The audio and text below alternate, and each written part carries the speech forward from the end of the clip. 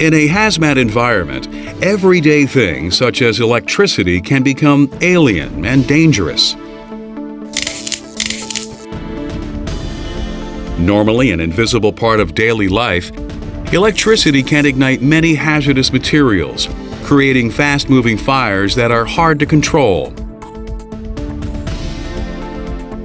Electricity can also make certain hazmats explode. Ideally, electricity should be kept far away from these substances at all times. Unfortunately, this is not always possible. Some manufacturing processes create flammable or explosive atmospheres in areas where electricity powers equipment or lights. Also, hazardous materials emergencies often occur in electrified areas, such as when hazmat railroad tank cars crash into power lines. In this program, you'll learn general rules for staying safe around electrical power in hazmat environments, no matter what kind of conditions you encounter. We'll begin by considering worst-case scenarios, specifically how electricity behaves when it's out of control.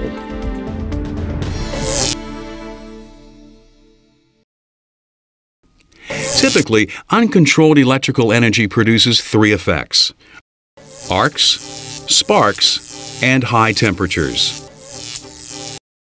An arc is an electrical discharge crossing a gap between two points. These can occur in circuits that are overloaded, subject to voltage spikes, or inadequately grounded. Arcs produce heat that can ignite combustible materials.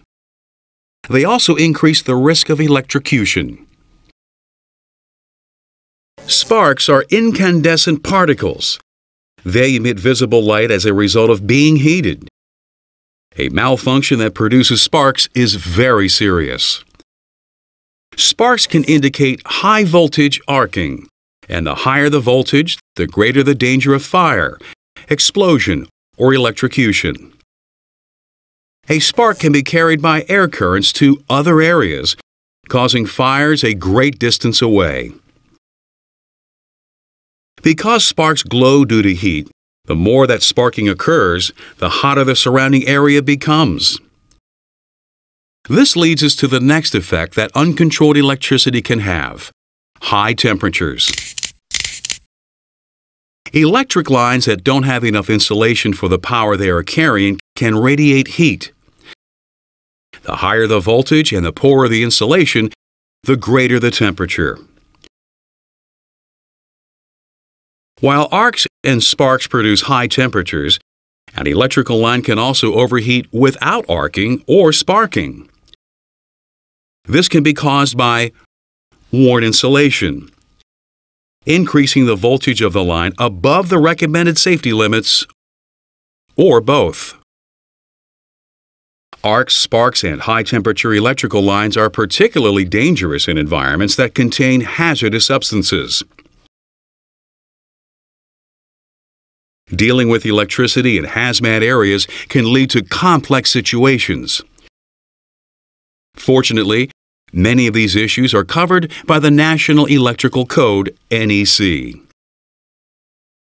The NEC is the primary source for electrical standards in the United States and contains guidelines for electrical use in all locations containing hazardous materials. The NEC divides hazardous materials areas into three classes, each with its own electrical specifications. The three NEC hazmat area classes are Class 1, where electricity could ignite airborne flammable gases and vapors or cause them to explode. Class 2, where airborne combustible dust is present. And Class 3, where ignitable materials are present but are not airborne in sufficient quantities to catch fire. Let's take a look at Class 1 sites. Class 1 areas include refineries, chemical manufacturers, and even hospitals. These sites contain flammable gases and vapors which can be ignited by unshielded electrical devices. In spite of these dangers, there are safe ways to work with electricity in these areas. One of the most effective is through the use of engineering controls, technological means, that reduce workplace hazards. Since all electrical devices from large machinery to pocket flashlights contain circuitry, it is critical that you use approved equipment for the area you are working in. Electrical devices with moving parts such as mechanical relays can produce arcs. This makes them unsuitable for Class 1 sites. For this reason, Class 1 sites need to be equipped with intrinsically safe systems. Also known as non-incendiary systems, these are electronic circuits that carry out the same function as their mechanical counterparts, but without producing dangerous sparks. Devices with these features are always marked with a label that identifies them as being intrinsically safe. If a piece of equipment is not marked intrinsically safe, it should not be used in a Class 1 site. The only drawback to intrinsically safe electrical systems is that they must be designed for specific atmospheres. This is because different substances have different flash points. An intrinsically safe system that is safe in one hazmat environment may not be safe in another. Due to the broad range of chemicals used by industry, the NEC has not specified a lowest common denominator intrinsically safe electrical system for use in all hazardous environments.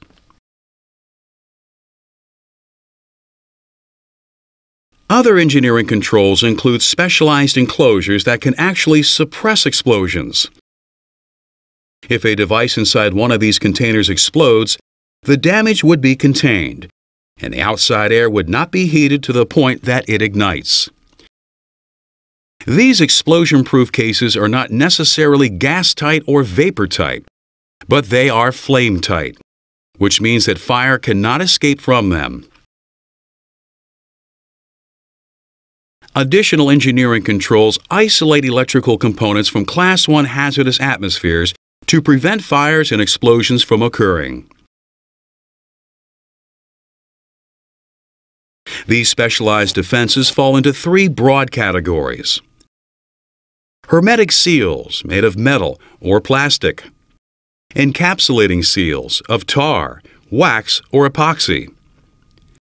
And oil immersion, which uses a layer of oil as a barrier against flammable or explosive atmospheres. As important as engineering controls are in Class 1 environments, they're only one part of the safety picture. Work practices are equally important. Together with engineering controls, they form a total system of preventive measures. Work practices are administrative methods for isolating workers from hazardous materials. While engineering controls deal with technology, work practices involve operating procedures. In Class 1 environments, the two most common work practices are purging and inerting. Both of these remove flammable or explosive gases from the local atmosphere. Let's look at purging first. Purging involves using non-flammable gases called purgatives to flush flammable atmospheres from enclosed spaces. The amounts of purgatives that are required varies with the molecular weights of the substances being removed. Carbon dioxide and nitrogen are commonly used as purgatives because they are inert and react with very few other chemicals. The National Electrical Board and OSHA also permit the use of positive pressure air as a purgative, providing that safeguards are taken against ventilation failure. Purging can sometimes cause problems, however. Purged flammable gases and vapors can ignite after they are vented to the outside air, so it is critical that these gases are vented safely away from ignition sources. The other common Class 1 work practice, inerting, consists of adding a non-flammable gas to the atmosphere in order to displace oxygen. The object is to reduce the percentage of oxygen in the atmosphere to the point that it is too low to support burning. The precise amount of oxygen reduction that is necessary depends on the substances that are involved. For chemical specific information on oxygen reduction levels, consult the SDS for the substance in question. Inerting may cause problems in confined spaces, however, because it can remove so much oxygen that the air becomes unbreathable. This condition is called an oxygen deficient atmosphere. Before anyone enters an inerted space, it must be tested to see if it can support life. If it can't, the entrant must wear an OSHA approved supplied air respirator, SAR, a harness, and a lifeline. Entrants must be monitored at all times by an attendant outside of the confined space. A rescue team must also be available in case of an emergency. Class 1 sites are complex work environments that present many hazards. Class 2 areas are also dangerous but pose different risks. In Class 2 sites, airborne combustible dust is the primary threat. This is why electrical equipment for use in Class 2 areas must be both dust tight and resistant to overheating when covered with dust. Devices that meet both of these criteria are referred to as dust ignition proof. Hermetic sealing, encapsulation, and oil immersion can all be used to keep machines free of ignitable dust. Work practices can also prevent electrical accidents in Class 2 environments. Of these procedures, the most common is pressurization. Similar to purging, this uses a pressurized inert gas or clean air to periodically blow dust out of the area. Unlike purging, however, pressurization cannot bring an area to a safe level once dust is inside. It is a preventive measure only. If dust gets inside the area, it must be removed through manual means, using a broom or a non-sparking shovel. Never use a vacuum cleaner. Its motor might produce a spark that could ignite flammable or explosive materials. Be careful. Removing dust could also cause some of it to become airborne in the process, making the atmosphere more hazardous. If this occurs, electrical power sources will need to be switched off and the dust removed by high volume fans. Purging and inerting are used infrequently in Class II environments since they can stir up even more dust and cause it to become airborne. If these methods are used, the air pressure must be kept low to prevent the dust from being stirred up. So far, we've looked at site classes that involve significant amounts of airborne contaminants. Class 3 sites are different. At these locations, the air doesn't contain ignitable materials in sufficient quantities to catch fire. In these areas, the concern is flammable deposits that may build up on floors, counters, and equipment. This is why high surface temperatures are the primary concern in Class 3 areas. Keeping machine temperatures down can be achieved in several ways. The equipment room can be kept cool and well ventilated. This also reduces dust in the area. Machinery can be insulated and run within safe operating temperatures. No matter what measures are used, however, fan cooled motors should not be installed in Class 3 areas. Combustible fibers could clog the fan, shutting it down. This could cause the motor to overheat, resulting in a fire or an explosion. Although the three classes of hazmat areas that we've been discussing are different in many ways, they do have some things in common. No matter what class a hazmat environment belongs to, all of its wiring and electrical equipment must be installed in accordance with the National Electrical Code. Electrical equipment used in these locations must also be approved by Underwriters Laboratories, UL, or another testing organization recognized by federal authorities. Most of the time, following safety regulations, observing safe work practices, and using appropriate engineering controls can keep accidents from occurring.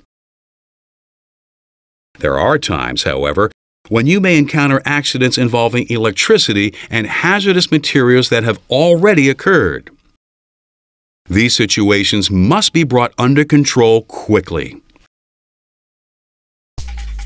We've seen how hazardous materials can react to electricity in various ways. Some catch fire or explode easily. Many are excellent conductors, increasing the danger of electrocution. But even if released chemicals do not react to electricity, uncontrolled electrical sources at the site are dangerous in themselves. This is why one of the primary objectives in an emergency is to immediately cut the power. You may be able to do this by switching off circuit breakers, but not if the breakers are located in a flammable atmosphere. In these circumstances, an arc could occur, igniting the air. If you have any doubts about the local atmosphere, get out fast and have the power shut off remotely by the electric company. Until the electricity is turned off, no one, not even responders, should enter the site. Everyone must be kept a safe distance from the area until the power shutoff is confirmed by someone in authority, such as the incident commander. A table of initial isolation and protective action distances can be found in the Emergency Response Guidebook. When first responders are allowed in an electrical hazard area, they must use monitoring and sampling equipment that is designed to prevent ignition. These devices guard against ignition by using technologies that we discussed earlier, such as intrinsically safe electrical systems and hermetic seals.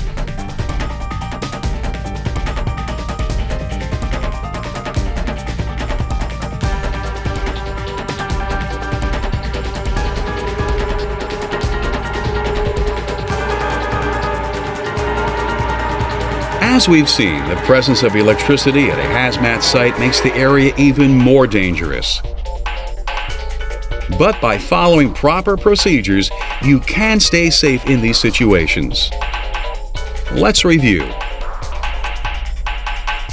Uncontrolled electrical energy can produce three major effects arcs, sparks, and high temperatures. All of these can heat materials above their flash points. The National Electrical Code, NEC, divides hazmat areas into three classes. Class 1, containing flammable gases and vapors.